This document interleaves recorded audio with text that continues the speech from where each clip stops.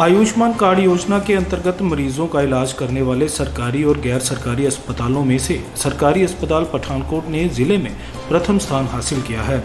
जानकारी देते हुए civil surgeon doctor Aditi Salaria ने कहा कि एसएमओ डॉक्टर सुनील चंद के दिशा निर्देशों में सिविल अस्पताल पठानकोट बेहतरीन सुविधाएँ दे रहा है, जिसके चलते अस्पताल को ज़िले भर में प्रथम श्रेणी का दर्जा प्राप्त हुआ।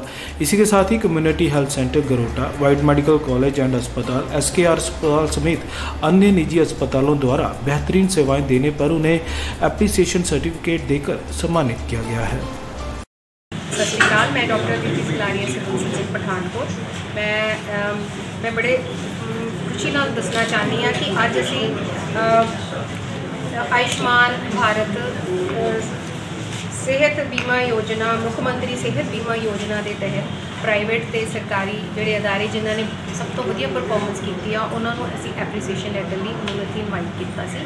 ਤੇ ਮੈਂ ਮੀਡੀਆ ਦਾ ਵੀ ਬਹੁਤ ਸ਼ੁਕਰੀਆ ਕਰਦੀ ਹਾਂ ਕਿ ਉਹ ਇਸ ਇਸ ਅੱਛੀ ਘੜੀ ਦੇ ਵਿੱਚ ਉਹ ਸਾਡੇ ਨਾਲ ਸਾਰੇ ਸ਼ਾਮਿਲ ਨੇ। ਔਰ ਇਹ ਮੈਂ ਦੱਸਣਾ ਚਾਹੁੰਦੀ ਹਾਂ ਕਿ ਸਾਡੀ ਪ੍ਰਾਈਵੇਟ ਹਸਪੀਟਲਸ ਤੇ ਸਰਕਾਰੀ ਹਸਪਤਾਲਾਂ ਦੇ ਵਿੱਚ ਇਹਨਾਂ ਕਾਰਡਾਂ ਦੇ ਵਿੱਚ ਜਿਹੜੇ ਬੈਨੀਫੀਸ਼ੀਅਰੀ ਜਾਂਦੇ ਨੇ, ਉਹਨਾਂ ਦਾ ਇਲਾਜ ਬਹੁਤ ਅੱਛੇ ਤਰੀਕੇ ਹੋ ਰਿਹਾ। ਔਰ ਜਿਨ੍ਹਾਂ ਲੋਕ ਜਿਹੜੇ ਬੈਨੀਫੀਸ਼ੀਅਰੀ ਇਸ ਔਰ ਇਹ ਜਿਹੜੀ ਇੱਕ ਪਖਵਾੜਾ ਮਨਾਇਆ ਜਾ ਰਿਹਾ ਸੀਗਾ ਜਿਹੜਾ 20 ਸਤੰਬਰ ਤੋਂ 24 ਸਤੰਬਰ ਤੱਕ, ਉਹਦੇ ਵਿੱਚ ਅਸੀਂ ਆਯੁਸ਼ਮਾਨ ਜਿਹੜੇ ਅਲੱਗ-ਅਲੱਗ ਜਗ੍ਹਾ ਤੇ ਕੈਂਪ ਲਗਾਏ ਸੀ, ਉਹਦੇ ਵਿੱਚ ਬਹੁਤ ਸਾਰੇ ਬੈਨੀਫੀਸ਼ੀਅਰੀ ਜਿਹੜੇ ਰਹਿ ਗਏ ਸੀ, ਉਹਨਾਂ ਦੇ ਕਾਰਡ ਵੀ ਬਣਾਏ ਗਏ ਸੋ। ਲੋਕਾਂ ਨੂੰ ਫ੍ਰੀ ਆਫ ਕਾਸਟ ਜਿਹੜਾ ਟ੍ਰੀਟਮੈਂਟ ਵਾਸਤੇ ਜਿਹੜੇ ਕਾਰਡ ਬਣਨੇ ਜ਼ਰੂਰੀ ਸੀ ਔਰ ਸਾਡੇ ਪ੍ਰਾਈਵੇਟ ਹਸਪਤਾਲ ਸਾਡੇ ਨਾਲ ਮੋਢੇ ਨਾਲ ਮੋਢਾ ਮਿਲਾ ਕੇ ਸਾਡੇ ਨਾਲ ਚੱਲ ਰਹੇ ਨੇ, ਸਾਡੀ ਬਹੁਤ ਅੱਛੀ ਕੋਆਰਡੀਨੇਸ਼ਨ ਹੈ। ਕੋਈ ਵੀ ਪੇਸ਼ੈਂਟ ਇਸ ਟ੍ਰੀਟਮੈਂਟ ਤੋਂ, ਇਸ ਸਕੀਮ ਦੇ ਤਹਿਤ ਵਾਂਝਾ ਨਹੀਂ ਰਹੇਗਾ।